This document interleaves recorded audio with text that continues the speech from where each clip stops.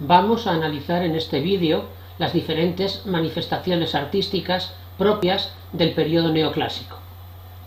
En arquitectura volvieron a emplearse las formas y elementos clásicos de acuerdo con las reglas tradicionales de la antigüedad y del renacimiento. Se utilizaron órdenes, entablamentos, frontones, columnas, cúpulas, etc.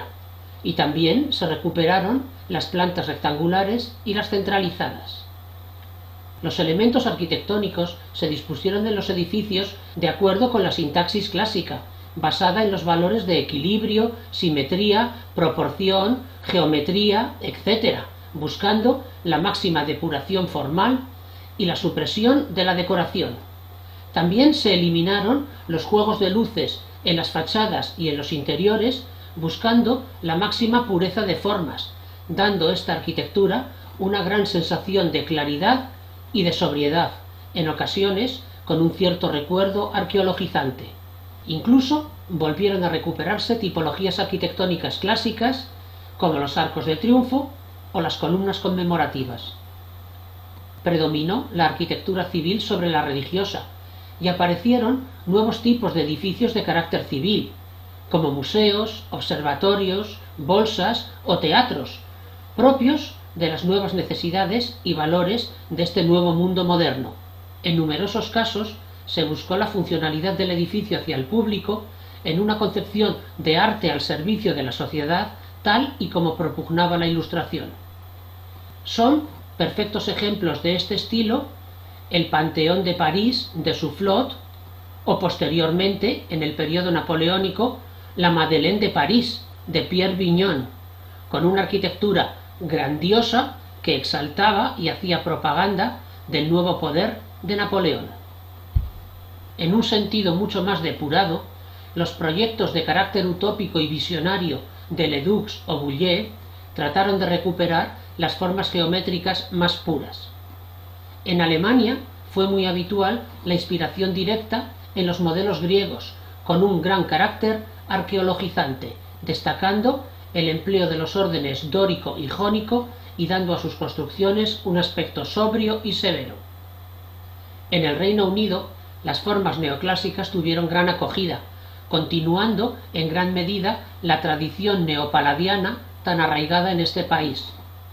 Los Estados Unidos adoptaron el nuevo estilo como símbolo de su nuevo régimen político inspirado en los ideales ilustrados en la democracia griega y en la República Romana. Son ejemplos de esta arquitectura el Capitolio de Washington, la Casa Blanca, la mansión de Thomas Jefferson en Monticello o la rotonda de la Universidad de Virginia. En España, la Puerta de Alcalá de Francesco Sabatini o el Museo del Prado de Juan de Villanueva y el Observatorio Astronómico de este mismo autor son los mejores ejemplos de este estilo, muy vinculado al reformismo borbónico. También destaca la fachada de la Catedral de Pamplona de Ventura Rodríguez. La escultura neoclásica se inspiró directamente en las estatuas griegas y romanas, recuperando ante todo los modelos del clasicismo griego de los siglos V y IV a.C.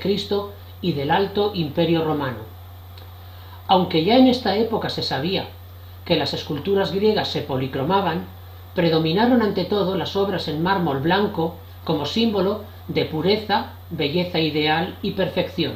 Las esculturas trataron de mostrar la belleza ideal y siguieron de modo estricto, casi académico, las reglas de la proporción, el canon, la armonía o el equilibrio, desapareciendo completamente el naturalismo barroco.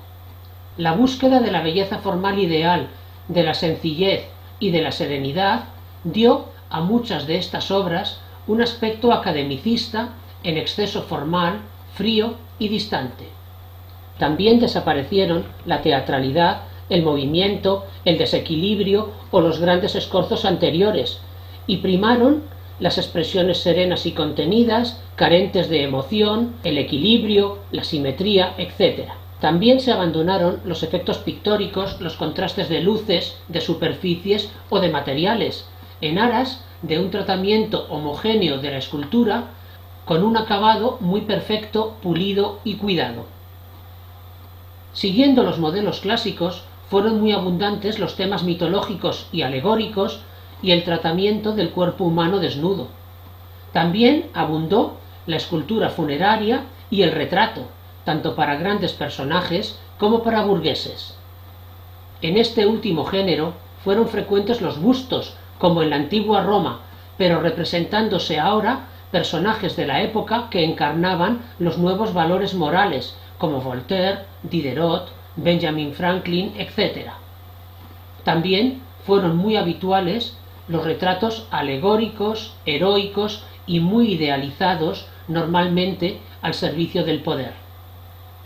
Los principales representantes de la escultura neoclásica fueron el italiano Antonio Canova, el danés Bertel Thorvaldsen y el francés Jean-Antoine Houdon. Los pintores neoclásicos no se inspiraron directamente en modelos de la antigüedad clásica, pues era justo este el momento en que se estaba descubriendo la pintura pompeyana. Por ello, frente a los excesos decorativos del rococó, lo que hicieron fue transponer a la pintura los principios clásicos de la escultura, lo que dotó a la pintura neoclásica de una cierta frialdad y un aspecto escultórico. También se inspiraron en el academicismo y el clasicismo pictórico de los siglos anteriores. Frente al hedonismo rococó y la supuesta perversión de las clases aristocráticas, la pintura neoclásica tuvo una finalidad esencialmente educativa y ejemplarizante. Sus temas exaltaron las nuevas virtudes cívicas, la moral y la razón, la austeridad, el sacrificio, el heroísmo, el deber con la república o el patriotismo, representándolos muchas veces a través de historias y mitos del pasado clásico. Abundaron los grandes formatos para glorificar la representación de temas muchas veces heroicos que sirvieran para la educación de los ciudadanos. Fue habitual representar escenas tanto históricas como mitológicas basadas en la época de la monarquía o la república romana, muchas veces como ejemplo de esos valores que se quieren transmitir al pueblo. También se desarrolló mucho el retrato de nobles y burgueses, y en la época napoleónica fueron frecuentes las grandes obras retratísticas al servicio del emperador. El desnudo, de aspecto idealizado al estilo de la antigüedad clásica, fue muy común, en gran medida por influencia de la enseñanza de las bellas artes en las academias. Formalmente fue una pintura en la que predominó el dibujo sobre el color, abundando los colores claros y puros y desapareciendo los contrastes tenebristas, dando lugar a pinturas de perfiles muy diáfanos y contornos muy definidos. Fueron habituales las luces amplias, frías, uniformes y poco contrastadas. Frente a las complejas composiciones diagonales del barroco, predominaron las de carácter más calculado y de aspecto geométrico, equilibrado y sereno. El naturalismo y expresividad barrocos o la sensual gracia del rococó fueron sustituidos por formas y expresiones solemnes y por personajes de aspecto sereno y contenido, basando la expresión de sus actitudes tan solo en la gesticulación de sus miembros corporales. El principal representante de la pintura neoclásica fue el francés Jacques-Louis David, con obras tan conocidas como El juramento de los Horacios, La muerte de Marat, El rapto de las Sabinas o La coronación de Napoleón. Otros pintores que siguieron esta tendencia fueron François Gérard, Antoine-Jean Gros, Anne-Louis Giraudet-Triosson o Anton Rafael Mengs. En España destacaron Juan Antonio Rivera y José de Madrazo.